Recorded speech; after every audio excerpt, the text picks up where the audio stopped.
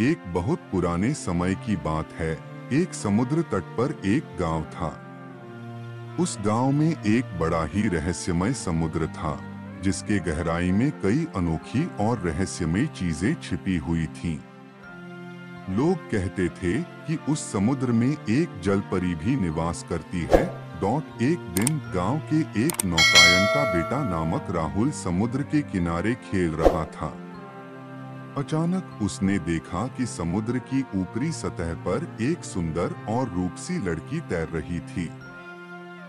वह थोड़ी ही देर में गायब हो गई, लेकिन उसकी सुंदरता और अद्भुतता ने राहुल का मन मोह लिया डॉट राहुल ने अपने दोस्तों को बताया, लेकिन कोई भी उसकी बातों में विश्वास नहीं करता था। फिर भी राहुल ने तय किया कि वह जलपरी को खोजेगा। उसने एक नाव तैयार की और समुद्र में निकल पड़ा डॉट दिन बीत गए। लेकिन राहुल को जलपरी का पता नहीं चला। वह निराश होकर घर वापस लौट आया। लेकिन राहुल का मन अब भी उस जलपरी में ही लगा रहा डॉट फिर एक दिन राहुल ने फिर से नाव लेकर समुद्र में निकला। इस बार उसने समुद्र के अंतिम किनारे तक जाकर देखा। और वहाँ उसने वास्तव में जलपरी को देखा। वह उसकी सुंदरता और आकर्षण में खो गया। जलपरी ने उसको अपने साथ ले जाने का प्रस्ताव दिया, लेकिन राहुल ने उसको अपने गाँव में वापस ले जाने का इनकार कर दिया। उसने समझा कि उसकी ज़िंदगी वास्तव में उसके गाँव में ही है। वापस आकर राहुल ने अपने गाँव की लोगों को अपने अनुभव का बयान किया। लोग राहुल की बातों में विश्वास नहीं करते थे। लेकिन उसने उन्हें जलपरी द्वारा दिए गए आशीर्वाद का सबूत दिया और वे समझ गए कि वास्तव में जलपरी है। डॉट जलपरी की मुद्रा राहुल को गाँव में खुशियों से भर दिया। वह अब भी समुद्र के किनारे अकेले जाता और जलपरी के साथ वक्त बिताता। लोग उसके इस रहस्यमय अनुभव को सुनकर आश्चर्यचकित रह गए और उसके बाद गाँव के लोग राहुल की कहानी सुनकर प्रभावित हुए और उसकी विश्वासयोग्यता में विश्वास करने लगे।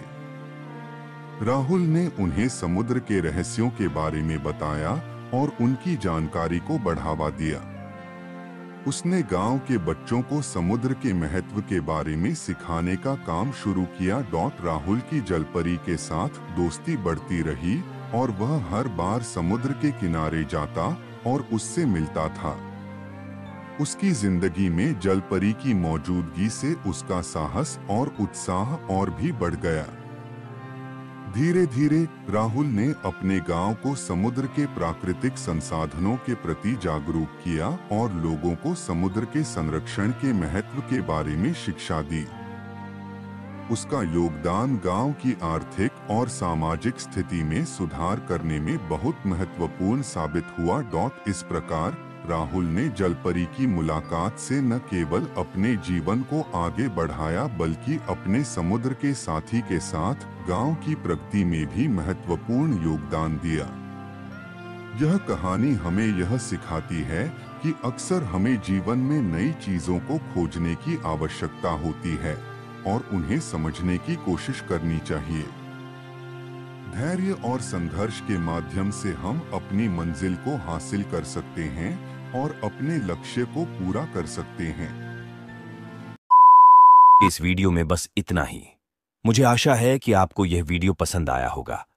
अगर आपको हमारा यह प्रयास अच्छा लगा तो कृपया इस वीडियो को लाइक करें, अपने दोस्तों के साथ शेयर करें और हमारे चैनल को सब्सक्राइब करना ना भूलें। आपके सहयोग और समर्थन के बिना हम यहाँ तक नहीं पहुँच पाते। आपके लाइक, कमेंट्स और शेयर हमें और भी बेहतर कंटेंट बनाने के लिए प्रेरित करते हैं। अगर आपके पास कोई सुझाव है या आप किसी विशेष विषय पर वीडियो देखना चाहते हैं तो कृपया नीचे कमेंट सेक्शन में ज़रूर बताएँ। हमारे चैनल पर आने वाले दिनों में और भी मज़ेदार और ज्ञानवर्धक वीडियो आने वाले हैं, इसलिए बेल आइकन को भी ज़रूर दबाएँ, ताकि आपको हर नए वीडियो की नोटिफिकेशन सबसे पहले मिल सके। धन्यवाद दोस्तों, फिर मिलेंगे अगले वीडियो में। तब तक के लिए खुश रहें, स्वस्थ रहें और सीखते रहें। जय।